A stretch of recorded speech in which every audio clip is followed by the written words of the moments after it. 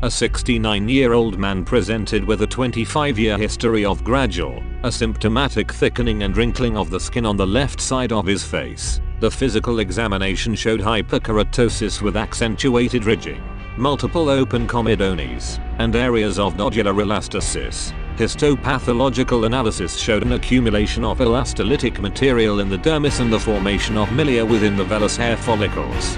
Findings were consistent with the Favre-Racouchot syndrome of photodamaged skin, known as dermatoheliosis. The patient reported that he had driven a delivery truck for 28 years. Ultraviolet A, UVA, rays transmit through window glass, penetrating the epidermis and upper layers of dermis. Chronic UVA exposure can result in thickening of the epidermis and stratum corneum, as well as destruction of elastic fibers. This photoaging effect of UVA is contrasted with photocarcinogenesis, although exposure to ultraviolet B, UVB, rays is linked to a higher rate of photocarcinogenesis. UVA has also been shown to induce substantial DNA mutations and direct toxicity, leading to the formation of skin cancer. The use of sun protection and topical retinoids and periodic monitoring for skin cancer were recommended for the patient.